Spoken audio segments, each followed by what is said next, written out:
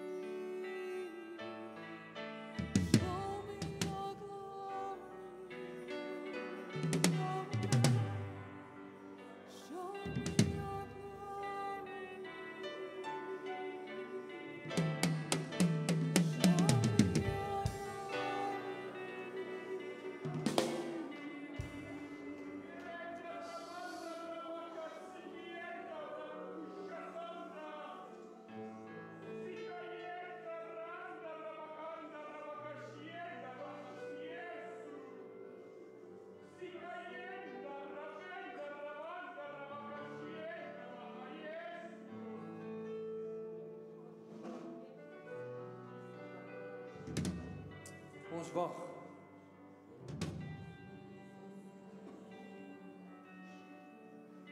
As jy iets in jou hart of iets in jou gees ervaar,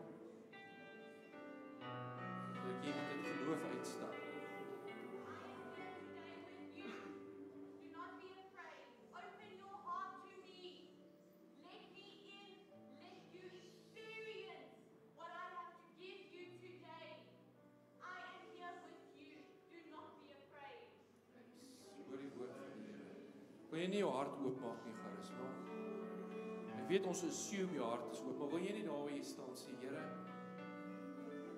ek gee U toestemming. Ek gee U toestemming. Kom in en doen dit wat U wil doen. Here, bring in alignment wat uit alignment uit is. Here, kom en genees wat siek is, Here. Bring in U wil wat uit U wil is, Here. Doen wat U wil doen in my lewe vanoggend. Kom en praat, Here. Kom en deel. Ek gee U toestemming. Ek gee my hart, Here. Gee my siel. Kom en doen wat net U doen. Hoor die woord van die Here. Hoor die uitnodiging. Nie bang wees nie, gee hom 'n kans in jou lewe. Hy's reg om met jou te ontmoet vanoggend. Se tontoro se kutu yo se geme se ete se ku emanda ya shama masomo se. Kan ons hierdie lied nog een of twee keer sing terwyl Karen ons lei? Show me your glory, show me your glory.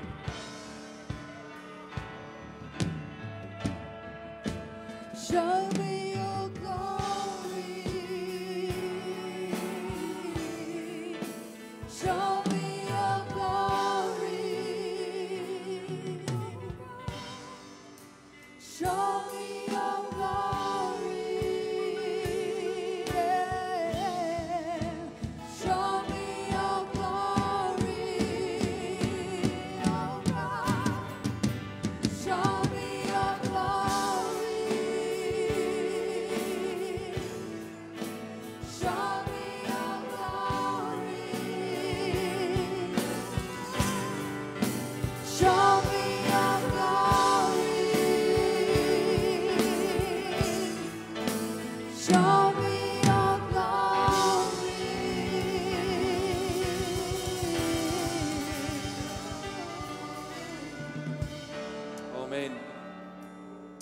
Here mag ons vanoggend wees soos Moses wat nader aan die berg beweeg het. Toe die volk weggehardloop het, bang was, Here.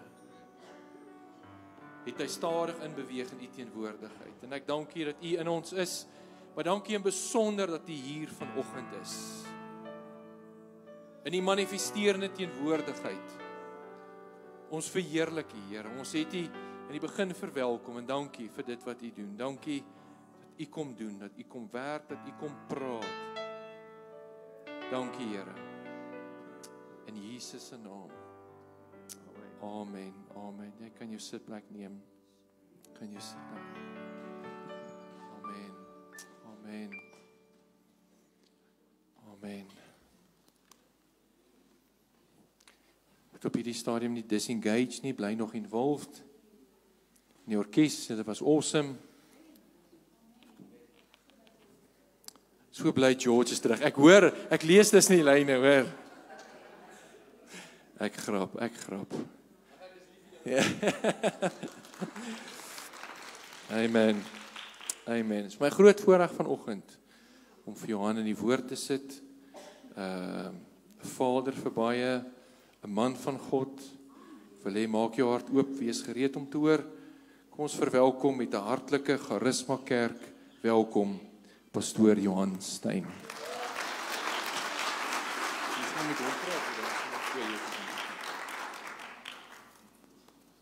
Daar was 'n goeie Pinkster tannie. Sy het in haar lewe nooit iets gedrink nie, niks. En toe sy 84 en nou sy baie swak, maar sy wil nie weer eet nie en hulle sien hoe gaan sy agteruit. En uh Pastor Arnold sê hulle moet net vir so 'n bietjie whisky en melk gee. Nou drink sy die melk en whisky en drink dit so 'n paar male in. Toe hulle sien sy's nou regtig dood, sê hulle tannie, het jy 'n laaste wens? Sy sê moet asseblief nie daai koei verkoop nie.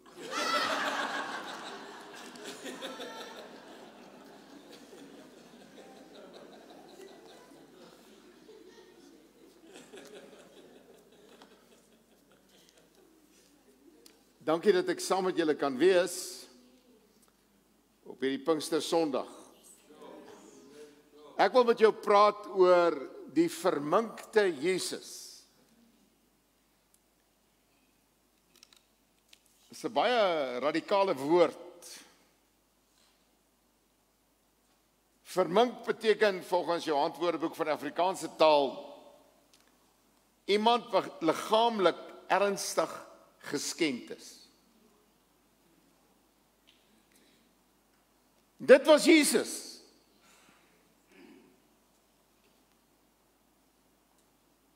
Ek sê eerlik, ek's bly ek was nie daai dag daar toe op die kruis gang. Weet jy of jy al op 'n ongelukstoneel was, motorongeluk waar mense dood lê nie en bloed uit hulle ore uitloop nie. Dis erg. Lees saam met my Jesaja 52 vers 13 tot 53 vers 5. Kyk, my knegg sal voorspoedig wees. Hy sal hoog en verhewe, ja, baie hoog word. Soos baie hulle oor u verstom het, so misvormd was sy voorkoms. Geen mens meer nie. En sy gestalte was nie soos die van 'n mensekind nie. So sal hy baie nasies laat opspring. Konings sal hulle mond oor hom toe hou want aan hulle nie vertel is nie. sien hulle. En wat hulle nie gehoor het nie word gewaar. Vers 5: Maar hy is ter wille van ons oortredinge deurboor. Ter wille van ons ongeregtighede is hy verbrysel. Die straf wat vir ons die vrede aanbring was op hom en deur sy wonde het daar vir ons genesing gekom. Dit is eintlik verstommend hoe 'n profeet in die toekoms kan inkyk. Jesaja en daar's baie teorieë, maar het plus minus 700 jaar voor Jesus geleef. Nou 700 is so bietjie bietjie langer as wat jy oud is, nê? Nee. Hoe lank terug het Jan van Riebeeck aan die Kaap gekom? 50 jaar. 16 hoeveel? Ag jy's verkeerd. Twee pink sweeties vir jou want jy ken die geskiedenis. Jy let op in die klas. 16 April 1652 kom Jan van Riebeeck in die Kaap aan. Wat staan koop? Op 'n Woensdag. Het jy tolla geluister? Een pink sweetie vir jou.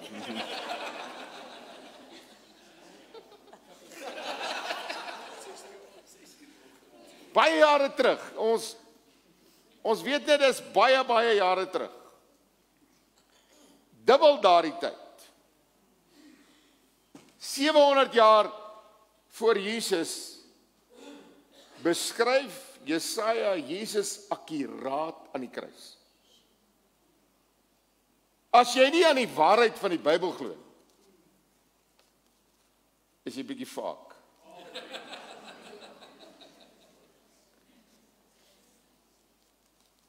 Maar Jesus se lyding word in in detail beskryf. En ek het nie vir jou die hele skrifgedeelte gelees nie, maar ek wil hê tog dat jy Samuel gaan lees. Hy gebruik 'n klomp woorde in Jesaja 53 vers 3. Hy gebruik die woord verag. Nou verag beteken om iemand minder waardig te maak. Jy heg minder waarde aan die mens as wat hy regtig werd is. Ek het nog skool gegaan in die dae wat ons nog beklei het. Hoor deesdae word jy aangekla, maar ons het nog 'n ouetjie geklap. En ek het so een of twee maal bolle gerol. Jy ken die woord pink sweetie vir jou. Bolle gerol. Ons het ons het dit gedoen. Ek was nie vreeslik aggressief nie, maar as ou gesoek het vir 'n fight het hom gekry. Maar iets wat ek nie kon hanteer nie. Ek ek het regtig eendag 'n ou in die hospitaal ingeslaan. Hy het my gesig gespoeg. Nie net sommer spoeg nie, ek gwel.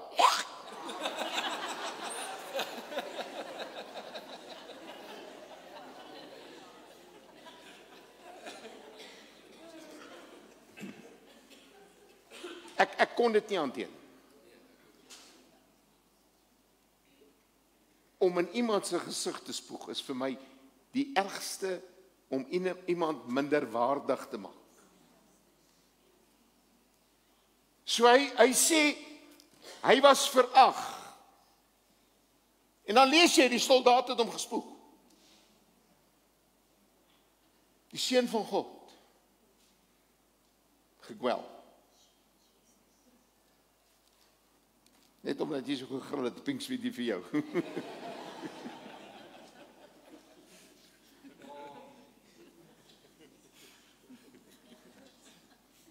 Ek wil hê jy jy moet jy moet die die gevoel kry, die hier's 'n stuk emosie hier vasgevang.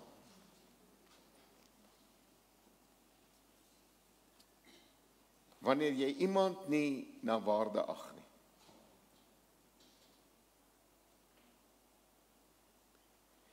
Tweede woord wat hy gebruik is hy was verlate. Eensaam.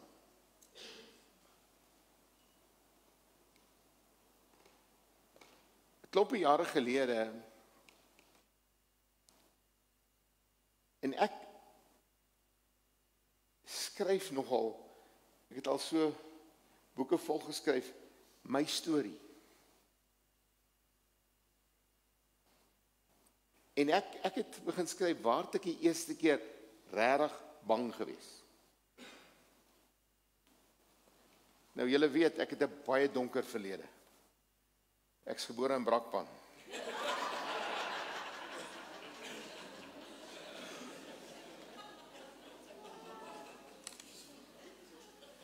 Jy ken die bose driehoek, né? Nee? Brakpan, Benoni, Boksburg.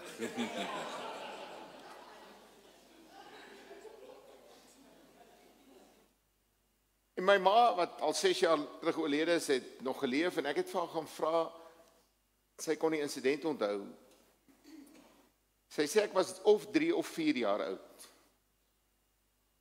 En sy het my ma, my ouma het my my ma het my ouma gaan oplaai eenmal 'n week dan is ons mark toe.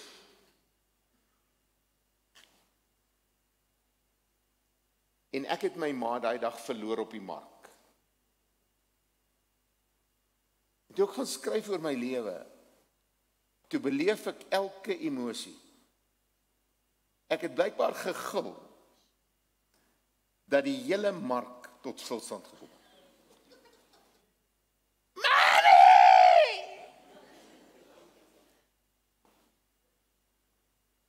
Maar weet julle toe ek oor my lewe dink en sê Here, wys vir my goed.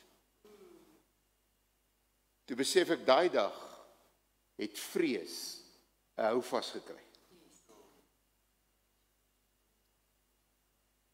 En toe ek met dit deel Ek was al middel 50s, maar toe ek dit dit deel, toe kom ek vry.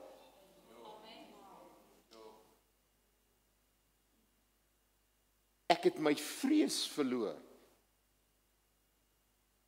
Ek is 'n getuie dat ek my vrees verloor het. Ek het verlede jaar baie erg COVID gehad. Ek kon regtig met vrymoedigheid twee maal sê Here, ek is reg, ek vrees nie die dood nie. Ek oordryf nie. Ek sê net daai vrees het verdwyn.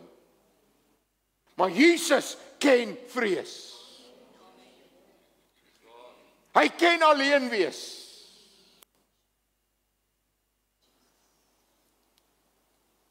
Ek het nie geweet jou vrou is oorlede.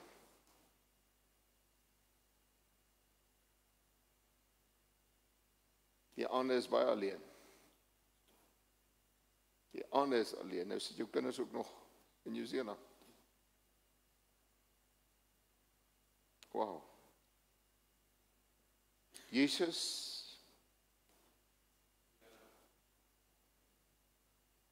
Vermoere gebeur iets in sy gees. And he knows God is there. God is for you. You will never be alone. Praise the Lord.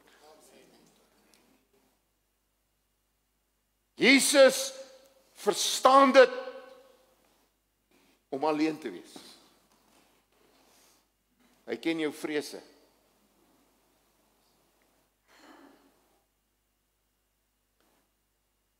Is iemand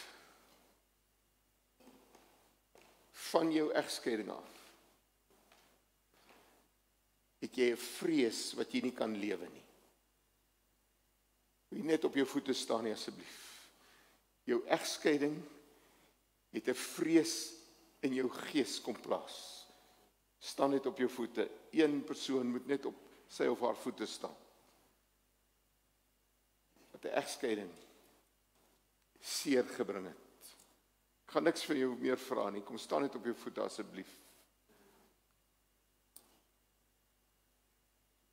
Kan 'n fout maak, maar ek ek ervaar dit is iemand. Here, ek bid vermoere vir goddelike genesing. Here, ek dank U vir 'n ingryping van die Heilige Gees.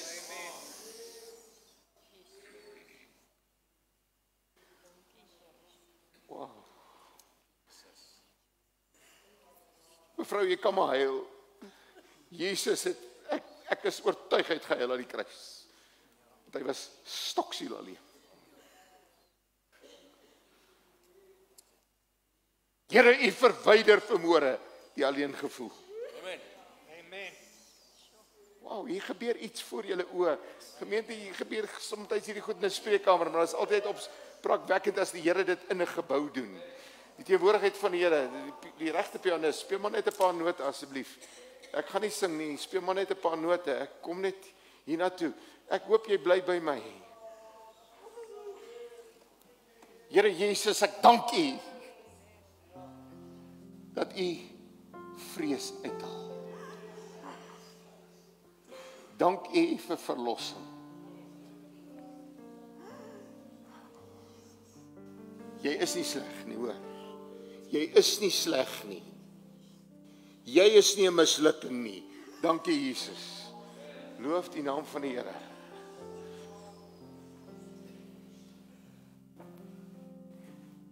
Jesus was vermink. Net aan sy liggaam nie, in sy gees was hy ook vermink.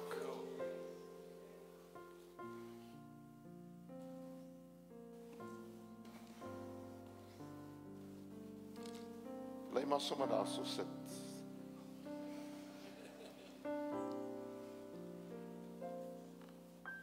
Dan noem hy hom 'n man van smarte. Groot hartseer. Julle wat vir my een van die sadste stories in die Bybel, toe Jesus bid in Getsemane. Sy pelle kon nie saam met hom bid nie.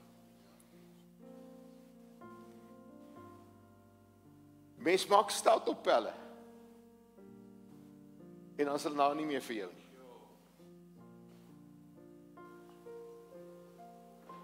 Toe hulle hom wegvat en hy verhoor word, toe sê Petrus, ek ken hom nie.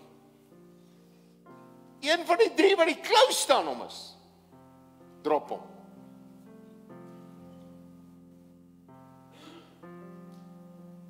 Kruis is toe sê my God, my God, waarom het U my verlaat? Terwyl hy bid, toe los hy ons. Toe hy gevange word, toe los hulle hom. Toe voel hy nog God het hom ook gelos. So hy hy verstaan vermoere waar jy leef. Dan gebruik hy die woord krankheid. Siekte, spanning of rampe. Calamity sê die een Engelse vertaling.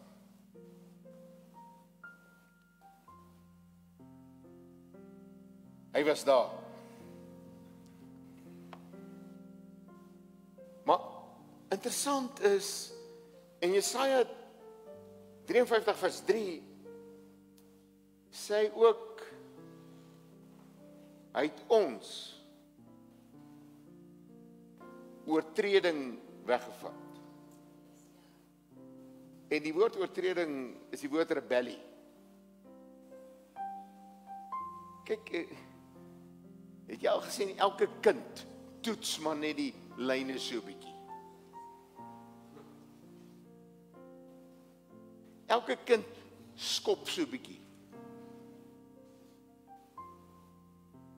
3 weke terug, ek het 'n tweeling kleinseuns, hulle is 4 jaar oud, 5 sê ek moenie die koeldrank mors nie.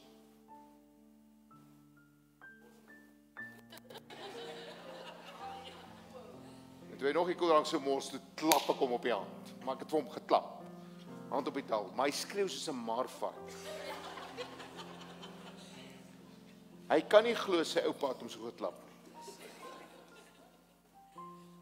Ek het hom nie geklap omdat hy die koel- koeldrank gemors het nie. Ek het hom geklap want ek het die rebellie in sy gees gesien. Ek het mos vir hom gesê moenie dan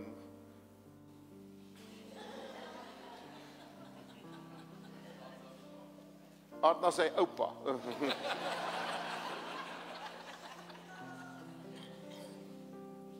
maar iets in jou gees challenge so 'n bietjie God se reëls. Alle mense doen dit. En dit is vir jou rebellie wat hy so vermink is.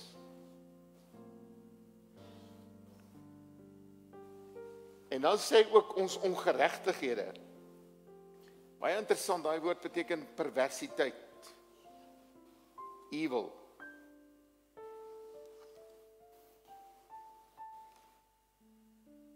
Daar's 'n stuk perversiteit in elke mens.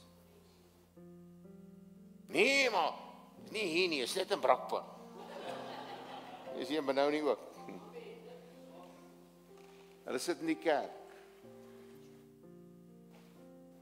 Dis my storie. Mens neig so bietjie om pervers te wees. Weet nie wat in jou nie.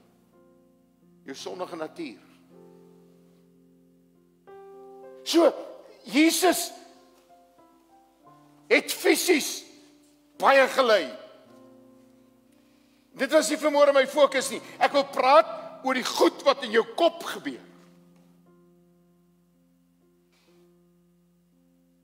Want vanaand en môre aand gaan ek spesifiek fokus op genesing. Maar genesing begin in mense kop. Jou lyf volg jou kop. As jou kop reg is, kom jou lyf gewoonlik reg. Ek veralgemeen nie. Maar ek wil vir jou wys, behalwe sy fisiese lyding en die prentjie wat vir jou gewys is van Jesus aan die kruis en die bloed, was daar 'n klomp goed wat in sy kop gebeur.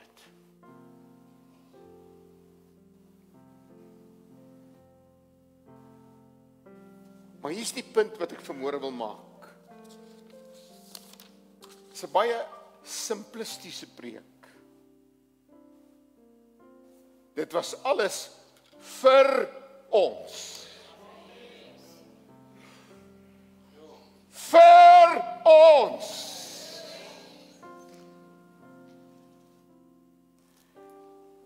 Die straf wat vir ons die vrede aanbring was op hom. Wil jy nie net vir my saam met my sê vir ons, maar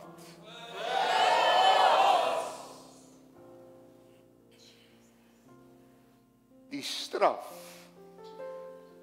wat vir my vrede aanbring. Die woord vrede is die woord waarmee die Jode mekaar groet. Shalom. En dit is baie meer as vrede. Dit beteken you're whole. You're whole. Jy is een mens. Alles is bymekaar.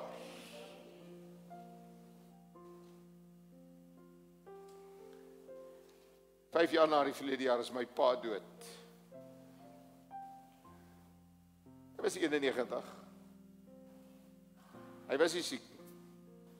10 dae bietjie swak, koop gaan. Weet jy de, hoe lekker was sy begrafnis? Wow.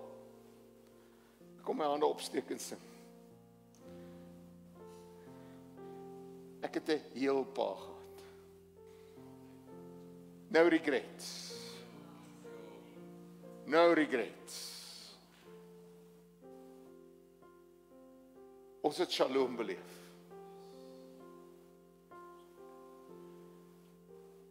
Vir ons vrede gebring. Al hierdie suffering was vir ons. En dan sê hy ook deur sy wonde het daar vir genesing gekom.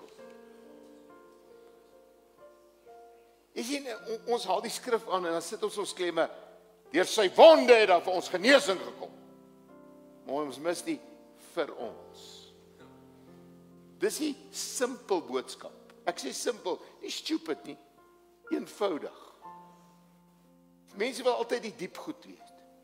Die diep goed. Die diepste wat jy kan weet is God is vir jou. Jy kan niks diepers as dit weet nie. Karl Barth was die grootste teoloog van die vorige eeu. Hy was wêreldbekend as 'n teoloog. En eendag toe vra joernalis vir hom, professor Barth, wat is die grootste en diepste ding wat jy ooit in die Bybel ontdek het? En hy begin sing: Jesus min my salig lot. Ek leer dit uit die woord van God. Hy sê die grootste ding wat ek ontdek het, God is aan my kant.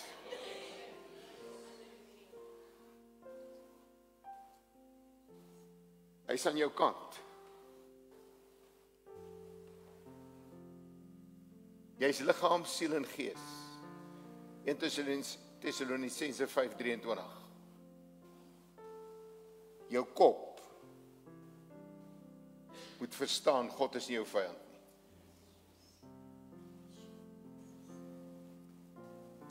Terwyl ek hierdie preek bou,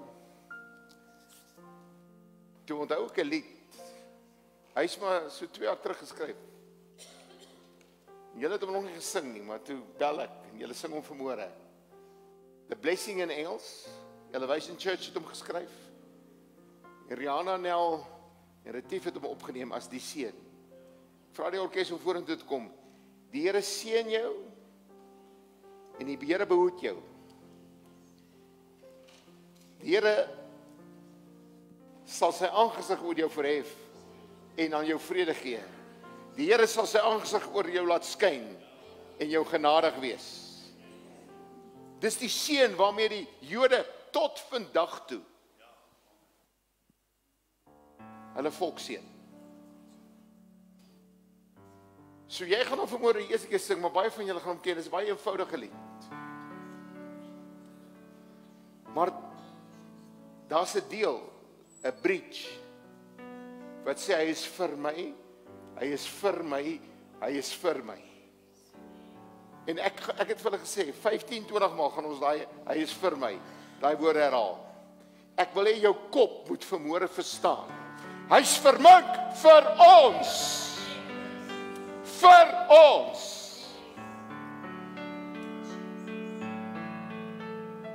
Hy's vir my. Hy's nie my vyand nie. Hy's vir my. Kom staan en sing ons dit saam. Here sien jou en bewaar jou skyn sy aangesig oor jou mag hy genade bewys die Here draai sy gesig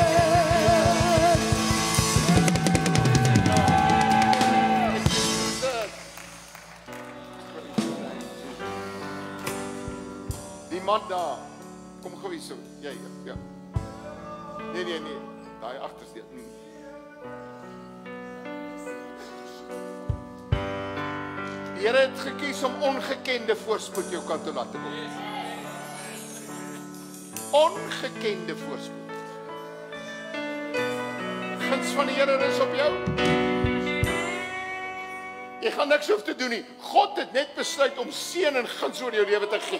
Dankie Jesus. Dankie Jesus.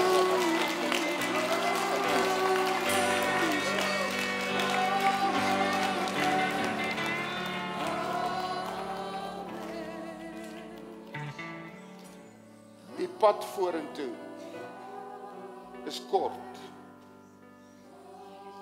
Ek sê nie jy gaan nou dood nie. Dis nie wat ek sê nie. Die Here sê net die pad vorentoe is kort. Kom gou hier so asseblief.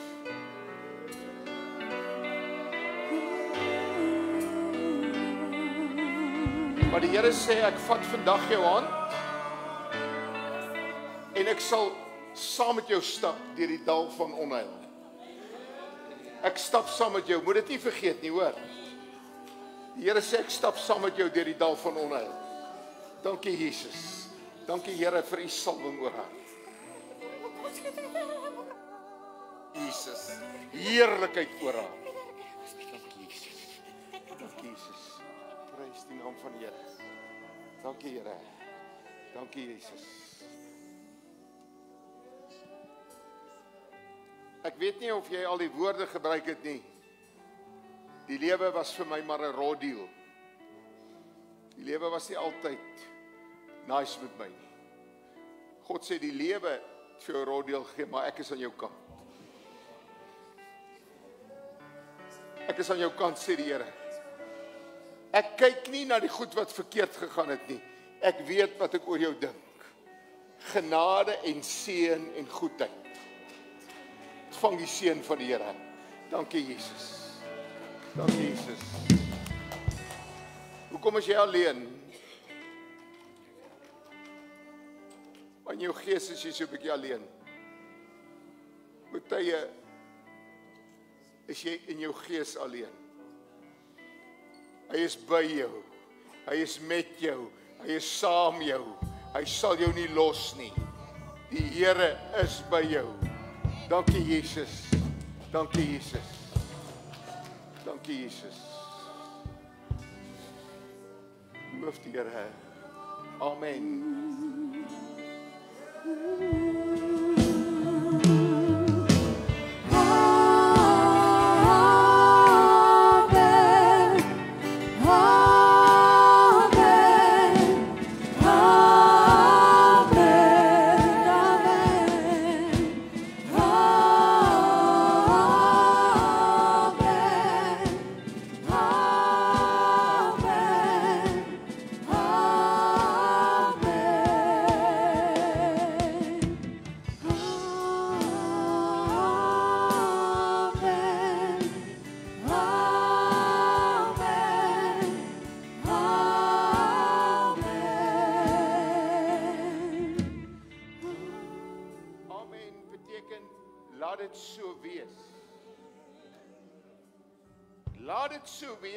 jy vanmôre verstaan, God is vir jou.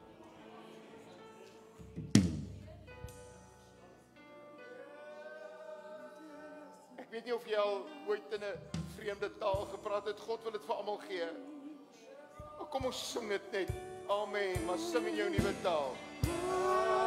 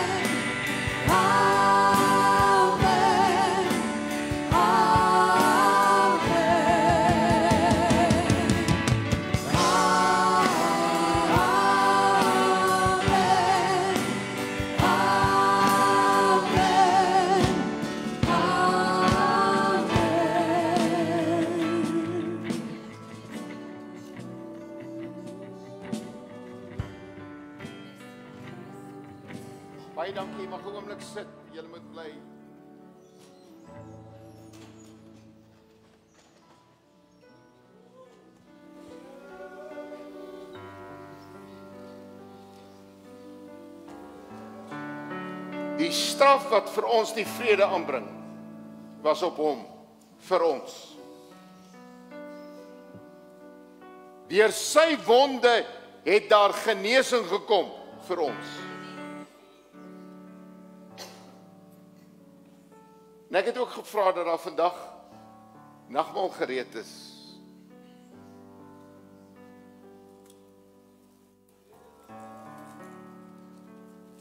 In Hooglied 2 vers 1 sê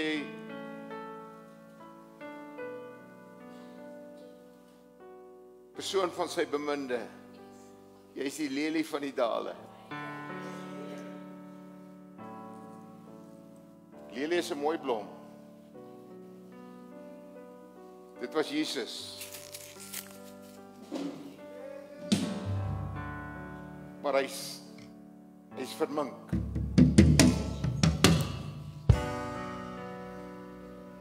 Dis vermoere die nagmaaltafel. Sorry vir die skoonmaakers.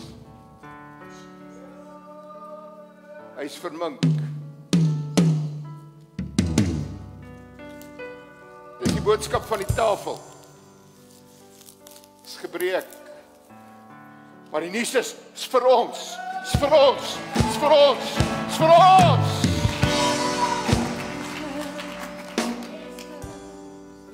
Hy is die brood van die lewe. Al het hom gebreek.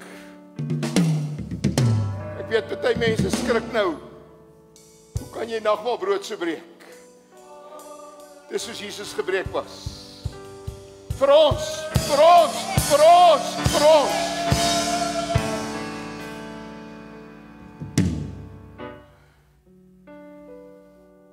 So Jesus Is vermink vir ons.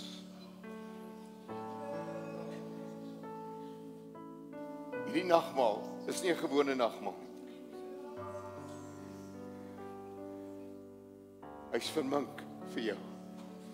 vir jou voordeel sodat die blessing na jou toe kon kom.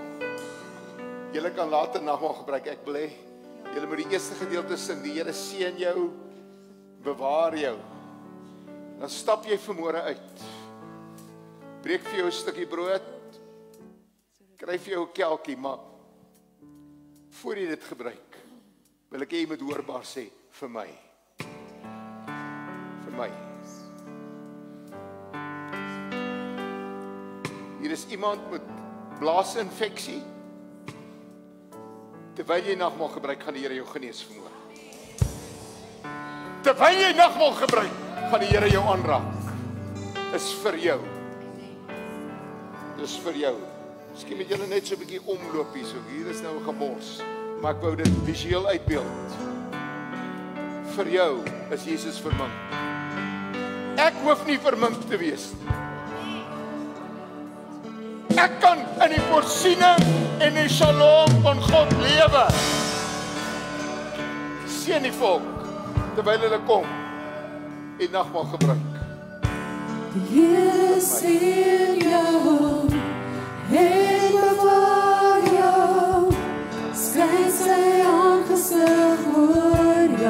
Mag hy genade bewys. Die Here draai sy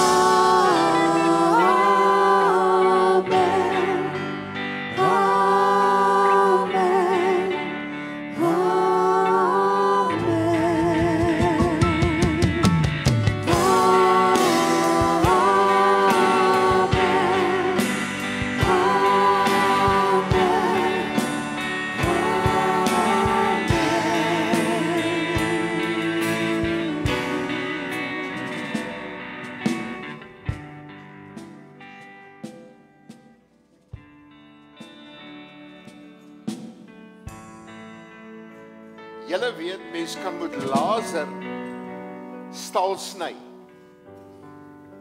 Maar laser is net lig. Maar as lig gefokus word, dan sny hy staal. Vermoere is 'n gefokusde diens. Net een woord. Jesus het gelei vir jou. Jy gaan dit onthou.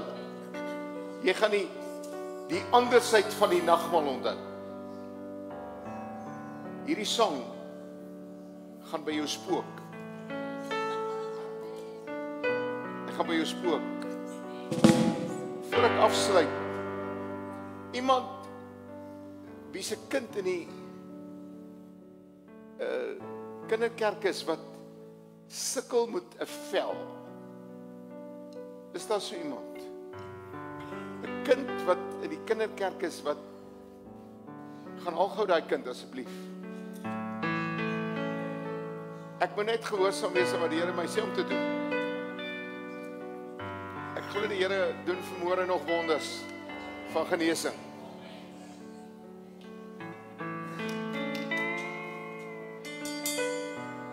Kan jy nog 'n minuut wag? Ek het kort gepreek. Ek uh, wil net vir daai kind bid in die gemeente. God is vir jou. Hy sal jou seën en jou behoed, hy is vir jou.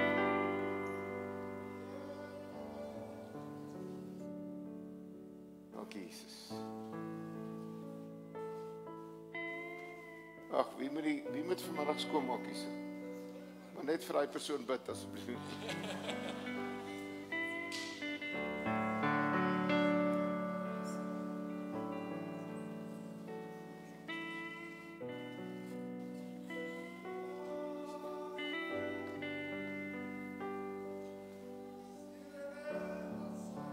Jou naam? Anjanik White. Anjanik White. Hemelse Vader, God is vir haar. En Jesus genees haar. Ek weet vandag hier gebeur iets. En aan die aan die Here die eer van nou af tot in ewigheid.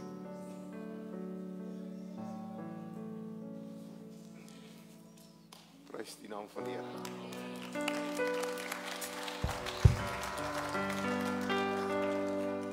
Dis goed môre om saam met julle te wees. Ek weet ons het hierdie lied nou baie kere gesing.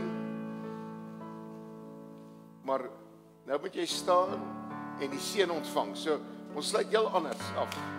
Hulle sing vir 'n duisend generasies. Of die Here seën jou en dan ontvang jy dit. Die hele tyd sê in jou kop God is vir my en dan op die einde sê ons almal amen, amen, amen. Daar's hy. Gaan die Here eer. Ons staan.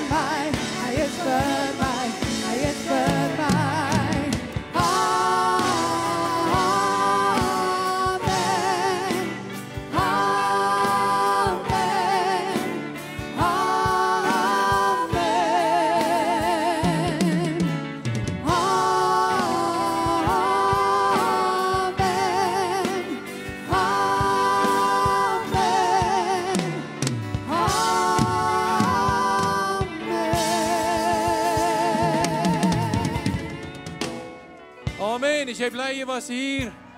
Johan Steinbaai, dankie. Ek nooi jou uit as jy jou wil laat doop vanaand. As jy nou hier is en jy's nog nie gedoop nie, maak gou hier voor by my draai. Ek wag vir jou. Asseblief, daar's die lekkerste koffie en koek. Onthou vanaand as jy as jy vanaand wil 'n uh, vetkoek en mints kry, dis daar. Johan is hier half 7, die orkes is hier half 7, ons is hier half 7. Ons het klaar afgesluit, ons het jou klaar gebless. Karen gaan nog 'n paar keer sing terwyl ons verdaag, terwyl jy gaan na die laapa toe. Sing ons nog 'n paar keer. Amen. Amen. Amen. Shalom. Sy gunst rus oor jou lewe en en 'n duisend generasies, jou familie en jou kinders en al kinders en al kinders. Mag sy vrede jou vooruit gaan, agter jou staan en langs jou staan. Dit omring jou. Hy is in jou. Hy is met jou. Hy is met jou. En die oggend en die aande en jou doende en jou late en jou hartseer en jou vreugde. Hy is vir jou. Hy is vir jou.